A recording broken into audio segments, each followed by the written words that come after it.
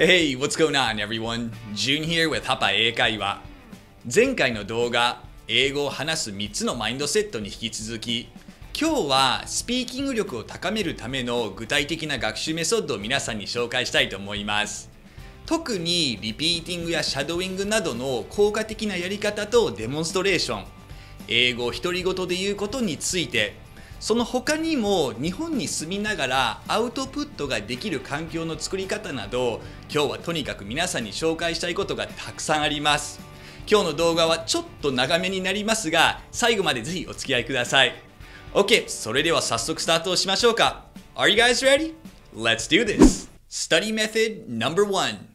Say it out loud. 今日は英語を口に出して言う4つのトレーニング法を紹介したいと思います。まず一つ目は音読をすること。音読は英文をただ単に読むのではなく、口に出して読み上げることです。ここでのポイントは、棒読みをするのではなく、しっかりと感情を込めて言うこと。リアルな会話を頭の中でイメージをして意識をすること。ここが非常に大事なポイントになります。なので、音声付きの教材がおすすめです。また音声を聞きながら音読をすることもできこれを日本語でオーバーラッピングと言います。それではデモンストレーションに行きましょう。Do you want to hang out this weekend? I hung out with John last night. 音読の効果は口が英語になれること。そして英語を英語の語順で理解ができるようになることです。音声を聞きながら音読をするとインプットとアウトプットを同時にすることができるのでリスニング力にもスピーキング力にも効果的です。次はリピーティングです。リピーティングは英語の音声が流れた後に一回ストップをしてそれを聞こえたまんま真似をして繰り返すという練習です。音声の長さですがここは自分の英語力にもよりますが私のおすすめとしてはワンセンテンスぐらいがちょうどいいと思います。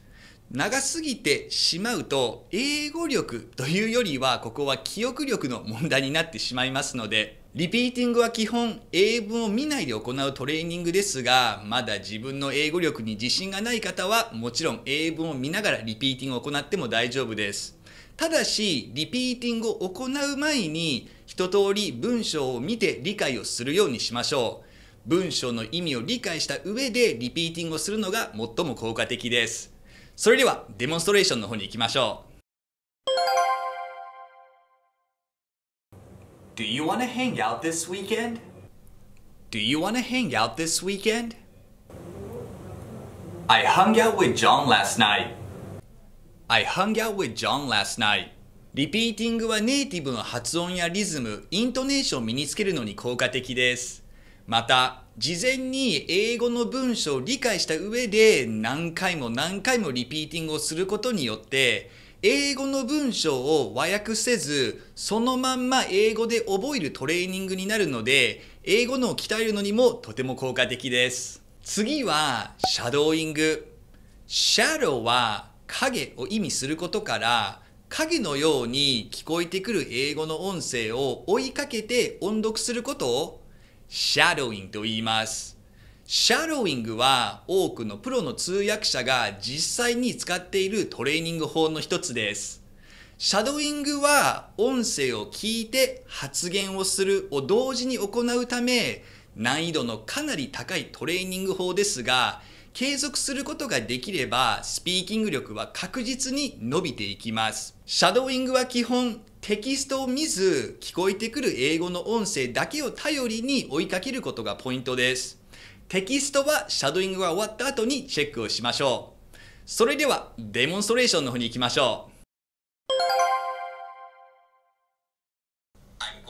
I'm going to work out and catch up on some work this weekend. How about you?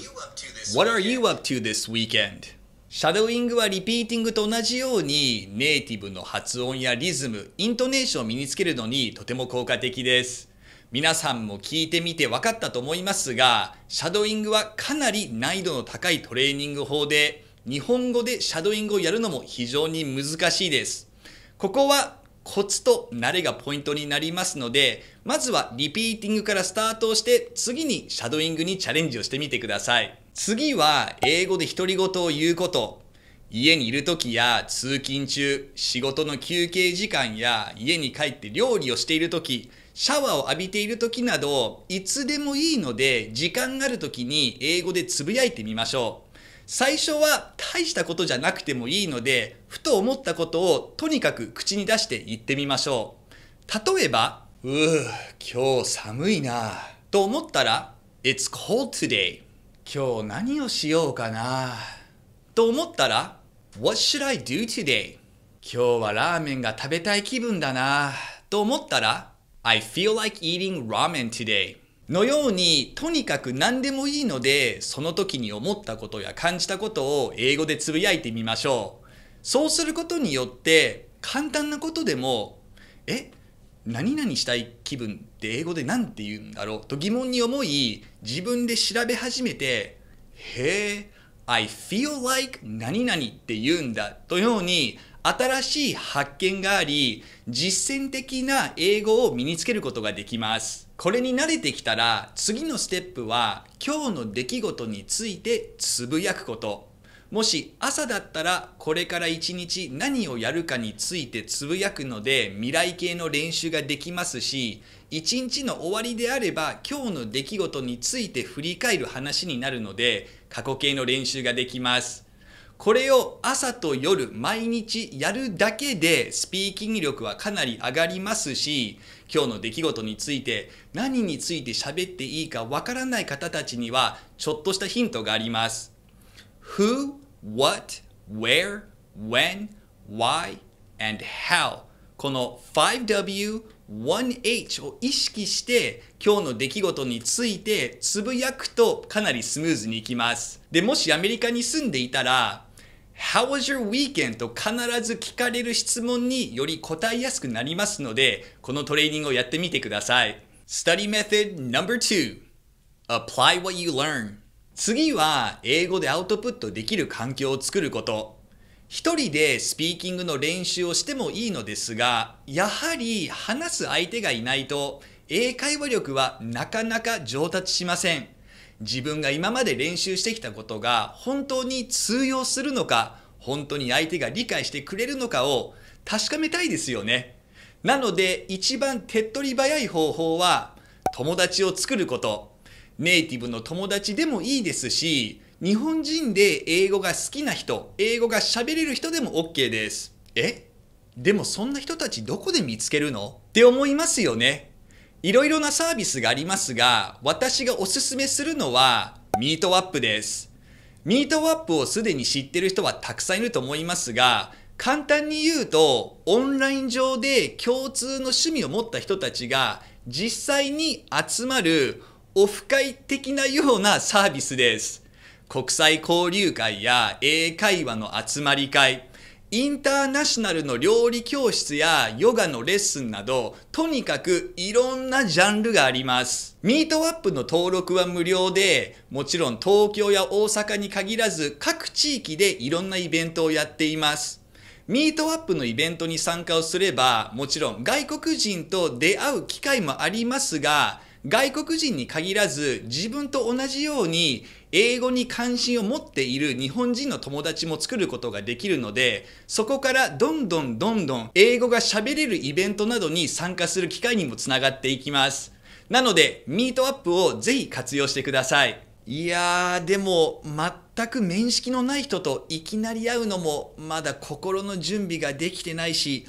ちょっと抵抗あるな。と思う方は Twitter やインスタなど SNS を使うことをお勧めします。インターネット上でも英語好きな人がたくさんつながっていて Twitter などでは英語で投稿する人がたくさんいます。なので個人のアカウントを使うのがちょっと恥ずかしいと思うなら英語専用の Twitter のアカウントを作って、どんどんどんどん英語でつぶやいてみましょう。ちなみにハパ英会話のインスタでは、英語学習をしている人たちがアウトプットできるために、平日、日常的な質問を投げかけたり、簡単なフレーズを紹介しています。たくさんの人たちが英語でコメントをしていますので、もしインスタをアウトプットの場として使いたい場合は、ぜひハパ英会話を活用してください。アウトプットができる場としてもう一つ紹介したいのが、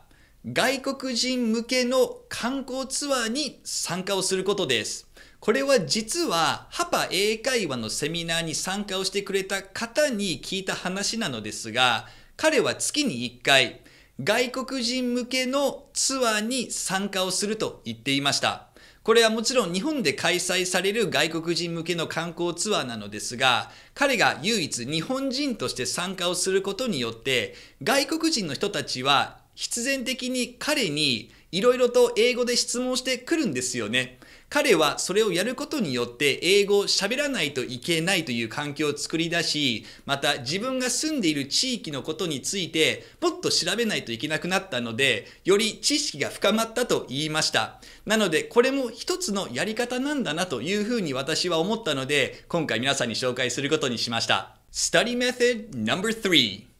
Get Feedback 今日最後に皆さんにお伝えしたいメッセージが必ずフィードバックをもらうことです。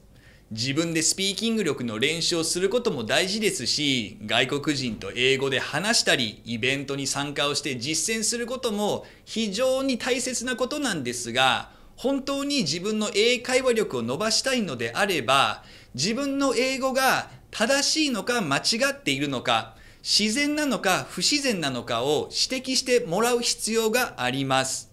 外国人の友達がいる人であれば共感できると思うのですが、外国人の友達と話していると、友達っていうのは自分の英語の間違いっていうのを指摘することはないんですよね。もちろんのことなんですが、友達としては理解ができればいい、コミュニケーションが取れればいいので、いちいち細かなことは指摘しません。逆に自分としてそれを求めて、求めるのも間違っていると思うんですよね。じゃあどうすればいいかというと、ここはやはり先生に自分の英語をしっかり見てもらうことです。これがお金を払う価値だと思っています。先生にお金を払って自分の英語をより自然にしてもらうこと、これが実際に英会話レッスンであったり、スカイプレッスンで得られる大きなポイントだと私は思っています。フィードバックがないと変な癖がついてしまい、変な癖が一回ついてしまうと、それを直すのは本当に大変なことなんです。なので月に1回でもいいので英語の先生やネイティブのお友達に自分の英語をチェックしてもらうようにしましょう今日はスピーキング力を高めるための学習メソッドをたくさんご紹介しました。でも今日の話を簡単にまとめると練習をすること実践をすることそして見直しをして改善をすることこの繰り返しなんですよね。スポーツのやったことのある人であればわかると思うのですが練習をすることと試合に出ることは全く別のものなんですよ。どれだけバッティングセンターでバットを振ってもゴルフの打ちっぱなしで何百回打っても実際に試合に出るとそう簡単に打てるものじゃないんですよね。試合に出て初めて感じるあのドキドキ感。会話だったら誰かと初めて会話をする時の緊張感っていうのは一人でどれだけ練習をしていても再現することができません。なので練習をしつつ本番にも参加するようにし本番に参加をした時にインプルーブしないといけないところをしっかりと見直しこの循環を作っていけば皆さんの英語力も飛躍的に伸びていきます。頑張ってください。あと英語を勉強されてる皆さんがスピーキング力を鍛えるために日々行っている学習法やトレーニング法があると思います。私も非常に興味がありますしこの動画を見ている学習者の人たちも参考になると思いますのでもしよければぜひシェアをしてください。今日この動画で紹介できなかったのですがジャーナリングをすることもスピーキング力を高めるために非常に役立つ練習です。ジャーナリングに関しては以前動画を作りましたので興味のある方は下にリンクを貼っています。ぜひチェックをしてください Thanks for watching today. You guys have an amazing day and I will catch you again next time. Take it easy. Peace.